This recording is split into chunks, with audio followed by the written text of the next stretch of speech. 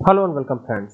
देखिए आपको बताना चाहता हूँ कि रिपोर्ट जो है, कैसे डिज़ाइन करी जाए कि अकॉर्डिंग टू अगर फॉर्म हो फॉर्म में जो भी डेटा सिलेक्टेड हो, केवल वही रिपोर्ट डिज़ाइन होकर आए। ऐसी रिपोर्ट एक्सेस में कैसे डिज़ाइन करी जाएगी, आज इसी के बारे में बात करेंगे। तो यहाँ से एक्सेस को ओपन करता हूँ। पहले आपको फॉर्म दिखा देता हूँ। तो ये हमारा फॉर्म है। अभी इसमें रोल नंबर वन सेलेक्टेड है। तो हम ये चाहते हैं कि रोल नंबर वन वाले का ही रिपोर्ट हमारे पास डिज़ाइन होकर आए। अगर टू सेलेक्टेड हो तो टू वाले का रिपोर्ट डिज़ाइन होकर आए। तो ऐसे करने के लिए क्या करना पड़ेगा? तो देखिए, आपको सबसे पहले क्रिएट पे जाना एक छोटी सी क्वेरी बनानी पड़ेगी। तो क्वेरी डिज़ाइन पे चलेंगे। और जैसे ही क्वेरी डिज़ाइन पे जाएँगे तो यहाँ पर हम ये जो टेबल है, इस टेबल की ज़रूरत पड़ेगी। तो ये टेबल हमने ले लिया है। अब हम क्या करते हैं? Student ID student name state और सिटी, तमाम ये चीज़ें जो हैं, ये हम लेके आते हैं। और यहाँ पर हम क्राइटेरिया में आएँगे और यहाँ पर क्या करेंगे? यहाँ पर हम फॉर्म के अंदर सर्च करेंगे। तो यहाँ देखिए, फॉर्म्स आ जाता है और फिर क्या करना है, आपको एक्सक्लेमेशन लगाना है। और कहाँ से सर्च करेंगे? तो स्टूडेंट फ्रॉम स्टूडेंट से सर्च करेंगे और यहाँ पे एक्सक्लेमेशन लगा करके हमें किसके बेस पे सर्च करना है? तो स्टूडेंट आईडी के बेस पे सर्च करना है। ठीक है तो नीचे स्टूडेंट आईडी आ रही है इसको डबल क्लिक कर दीजिए। तो यहाँ स्टूडेंट आईडी आ जाएगी। अब जब इसको आप सेव करेंगे ना तो ये क्वेरी सेव हो रही है। देखिए, यहाँ पर मैं एस टी यू क्यू के नाम से सेव करता हूँ इसको।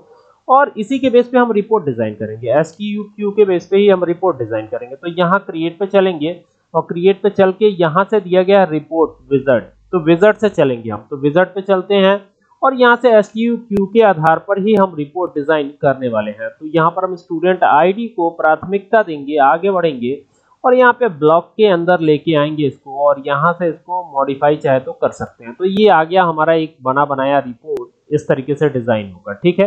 हम चाहे तो इसको हटा सकते हैं, इसका कोई मतलब नहीं बनता या यहाँ पर कोई और चीज़ आप चाहे तो लिख सकते हैं, ठीक है? एक बार क्लिक करते हैं व्यू पे देखते हैं क्या आ रहा है।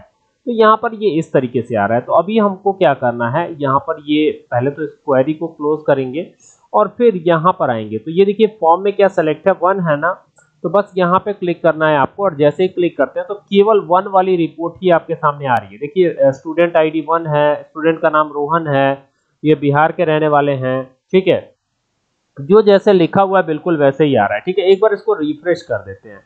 तो यहाँ से पहले इस रिपोर्ट को क्लोज करना होगा रिफ्रेश करने के लिए। तो इसको सेव करके तब क्लोज करते हैं। तो एक बार इसको रिफ्रेश भी हमें करना पड़ेगा, ठीक है? अभी तो रिफ्रेश हो ही गया है तो यहाँ पे डबल क्लिक करेंगे।